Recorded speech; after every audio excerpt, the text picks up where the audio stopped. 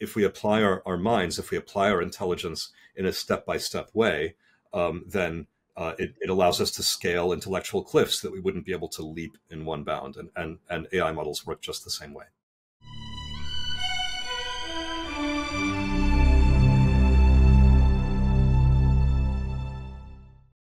Welcome to Closer to Truth. I'm speaking with Blaise Agüera y Arcas about his vital new book, What is Intelligence? Lessons from AI about evolution, computing, and minds. Blaise is vice president and a fellow at Google, where he is the CTO of Technology and Society and founder of Paradigms of Intelligence, which reimagines the foundations of AI. Projects include biologically inspired approaches to computation, efficient AI hardware, the predictive modeling hypothesis, which we'll discuss, the social scaling of AI, and even artificial life. Welcome, Blaise. It's great to meet. I love the book, What is Intelligence? Thank you so much, Robert. I'm really glad to be on. Look, it's a remarkable vision, a really a tour de force guide for our AI uh, age. Uh, but a unique feature of the book, and I've read a lot of AI books and neuroscience books over the years, especially recently. But your book, as I see it, takes a recursive approach between AI on the one hand and humanity's biggest questions of evolution and mind and society, with each enhancing understanding of the other in an iterative way. If I got that right, how did this way of thinking come about? That's a that's a great observation and uh, and a great and a great question. Um, yes, so I you know my my role really is more as an engineer at, at Google than as a natural scientist, but um, my training is in is in the natural sciences. You know, originally in, in physics and then in computational neuroscience, and I am really interested in in those big questions. Um, I feel like throughout the the sort of earlier part of the history of AI, the science was ahead of the engineering in a lot of respects. Uh, you know, and, and, that's why neural net architectures, uh, you know, really up until the transformer, were largely uh, neuroscientifically inspired, and, and, it was you know people working at that intersection uh, between neuroscience and and machine learning who made the the key contributions. But that has kind of flipped around recently, uh, where the technology or the practice is ahead of our yeah. understanding, ahead of the science. Mm-hmm. Uh, it reminds me a little bit of the way things were um, in the 19th century with steam engines and thermodynamics, where you know it was actually the technology of the Industrial Revolution that that propelled um, the physics of, of thermodynamics and statistical physics and so on. So I feel like we're in one of those moments now. Yeah, fascinating. All right, let's uh, talk about the um, the nature of intelligence. And you frame the question, "What is intelligence?" And we, we want to get a definition because there are a lot of different understandings of that, as you point out in the book, where cognitive psychologists may disagree with your approach to intelligence as first an AI. But I'd like to do it in the context of the so-called two holy grails: uh, artificial general intelligence (AGI) and then the magical artificial superintelligence, the so-called singularity, ASI. So let's start with a definition of intelligence as you see it. What is intelligent? And then move on to these uh, uh, uh, bigger concepts. Right. Well, maybe maybe I can begin with um, AGI versus ANI or artificial narrow intelligence because you know this was a distinction that that, that I think first got made around the year 2000, um, and it happened because you know when we were kids growing up i mean we're in slightly different generations but i think this was true you know for both of us when we you know first heard the term artificial intelligence. It was supposed to be you know robots and and uh, you know systems that that you could have you know conversations with the way you could with people about about anything uh, and and that would be you know broadly capable in the ways that we are that uh, in the ways that that humans are. And um and then uh, the term artificial intelligence began getting applied to artificial neural nets that had been trained to do specific tasks like you know handwriting recognition or face recognition um, uh, you know or, or, even you know face detection in a, in a in a digital camera or something. And you know the, the reason they were called that you know is because they were using neural nets. Uh, so there's a, there is a kind of brain like technology behind them or brain inspired technology behind them but you can't have a conversation with any of those things. Uh, they were trained using supervised learning which means that the best they can do is to literally just you know reproduce the the judgments uh, in in the training data to get a, to score 100% on the specific test uh, you know of, of skill that they're trained on. So you know that that was artificial narrow intelligence. And then the term artificial general intelligence was coined to just mean what we originally meant when we said ai ah. uh, so i actually found it very confusing when uh, we started to get general purpose um, uh, chatbots that, that, were broadly capable uh, you know initially at, at, at, google research we had um, Meena and then LaMDA, which which uh, didn't you know didn't really get shown to the public, and then of course ChatGPT came along, and then uh, you know Gemini and Claude and various others. Uh, if you took any of those systems and transported them back to the year 2000, I'm sure that you know anybody in their right minds would have said, yeah, you know this is AGI, this is what we meant. But uh, but somehow we've had a sort of moving of the goalposts. Hmm. Uh, you know, at least that's that's my interpretation of what's happened. Uh, you know, over over the last uh, right. few years, uh, where nobody wants to admit that it's that it's uh, you know that it's AGI, and, and, they want to ascribe to AGI some other properties. Maybe it has to do with having a soul or having agency, whatever that means.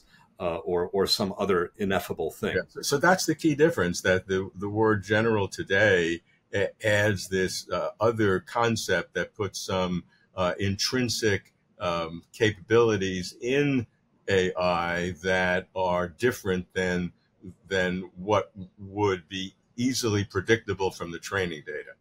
Right. Um, when we began doing unsupervised training, meaning that uh, you know we began training these models to predict texts uh, with large uh, corpuses of, of stuff from the internet that includes conversations between people and so on, and and then they can generalize from that from that training so that you pose a word problem and it, can say here's the answer do coding or write poetry or do whatever else including tasks that weren't in the training data. At that point i, I think it's clear that we have uh, generality. We have general intelligence. And that's that's why these that's why these systems are so popular uh, with with so many people. They're not doing they're not good for doing just one specific thing or a few specific things you contrast in the book where you believe that ai today is intelligent but that you say many cognitive scientists would not use that term. Uh, is that is that just an issue of semantics, or or is there a real substance uh, in terms of understanding what AI is doing? Um, I think there are a few reasons uh, that, that that that that debate is is uh, is there. One of the reasons might just be that there was kind of no moment at which uh, at which the systems crossed some very obvious threshold. You know, they were just sort of make, making not a lot of sense, but generating words, and then you know slowly the coherence length, you know, of like how how long they they could kind of make sense grew, you know, until now, you know, you can you know input a prompt and get an entire sort of reasoned you know long reasoned argument and there was no moment at which it felt like we crossed a threshold so maybe it's a little bit of a you know uh, boiling the frog kind of story where you know there just wasn't a, wasn't wasn't a moment. Um, I think that for uh, for some people, uh, especially from the cognitive uh, science community, um, there were ideas that we would we would figure out some magic algorithm that there'd be some moment when we would understand the trick of intelligence and that that would allow us to build it. And in a way there was no trick uh, you know these uh, we were building uh, you know models that did next word prediction uh, just to you know to power the smart keyboard in Google phones. Uh, mm-hmm. you know, back in the early part of last decade, and um, and when we were doing that in, in my team at Google, we never imagined that by just scaling those models up, you know, you would get systems that could answer word problems correctly. We always we we agreed with the cognitive scientists that some trick would be needed, some fairy dust to make to make it generally intelligent. So we were as surprised as anybody when um, you know when, when it started to get those things right. Um, but but there was no there was no moment and there was no trick. So well, I think that's part of the problem. Describe then the transformer moment, the 2017 paper from Google Research. Attention is all you need, because some people, and you, you in your book, pointed that that's a that was kind of a critical milestone in terms of the transformation of AI. Yeah, it was a watershed, and and all of the modern systems are based on transformers of one kind or another. So it was it was a new architecture for neural networks um, uh, for doing, in particular, uh, sequences of uh, for predicting sequences of words or tokens. Um, you know, the, the, details of it are a little bit involved, uh, and it is, I would say, at least superficially, the least brain-like of the artificial neural net designs that have, you know, that have been a big deal in, in the last few decades. um, it was mostly inspired by engineering concerns.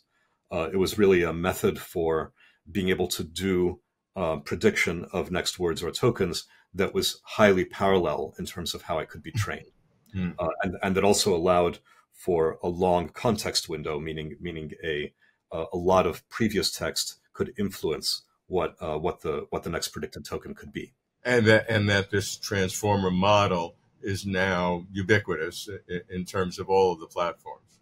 Yes, yes, but uh, you know I, am not sure that there's anything uh, so magical about that particular architecture. Uh, I think in, in many ways it, it just happens to be um, general and it happens to be a good fit with uh, with our hardware and with the way we can parallelize training in data centers. Uh, so you know, there's a lot of evidence that that that just this idea of predicting next tokens and doing unsupervised training, meaning modeling large corpora, is really the key, not necessarily the details of the model. The astonishing thing is just predicting the next token, the next word, or the next part of a word uh, can lead to the remarkable um, uh, evidence that we all see today. Uh, I mean, that, that's still that's still you can understand it, but you're still baffled. yeah, exactly. Uh, you, you, make a fascinating comment in the book uh, that uh, LLMs perform better when asked to show their work. is that true, and why would that be? So the reason that um, so-called uh, chain of thought reasoning uh, is is helpful, meaning meaning that uh, that the model you know is is not just giving you the answer, but is working it out, uh, you know, and and and sort of uh, ex examining its own outputs while generating new outputs is the same reason that you know if you're teaching a math student, uh, you know how to solve an arithmetic problem, you say show your work. You know, don't just leap to the answer. you know, write it out um, it, you know, it's that if we apply our, our minds, if we apply our intelligence in a step by step way, um, then uh, it, it, allows us to scale intellectual cliffs that we wouldn't be able to leap in one bound. And, and, and AI models work just the same way. Yeah, but but what what I would think is that it was doing that anyway without us asking it, because that's the only way it could work. It would have to go step by step. And so all we're doing is asking it to articulate it so that we could see it, does that change the internal dynamics of what it actually does? Um, no, uh, it, it changes uh, its uh, it changes its mood, if you like. Uh, you know, it's it's really it's really um, that's a dangerous attitude. That's a yeah. very loaded phrase. yeah. Well, you know, they they they act in accordance with um, with their their model of themselves, which which is built over the course of the interaction. You know, we, we often have um, system prompts, which are kind of like a, you know, a, you know, this is who you are, this is how you behave, uh, kind of starting point, but that then gets augmented with with the whole interaction so far. So if you say, and by the way, you're a careful thinker and think about this stuff step by step, they will do better again in just the same way that you know a human student will if you say, you know, you want to be careful about this, think step by step. Okay. So just to say, write in the style of Shakespeare or an Ogden Nash, if, if you say show your work, it will it will uh, emphasize that aspect of it. Exactly. That makes sense. Exactly. Thank you for watching. If you like this video, please like and comment below. You can support Closer to Truth by subscribing. Closer to Truth is now accepting your tax exempt donations. Please come to closertotruth.com forward slash donate. Thank you very much for supporting us, and thanks for watching.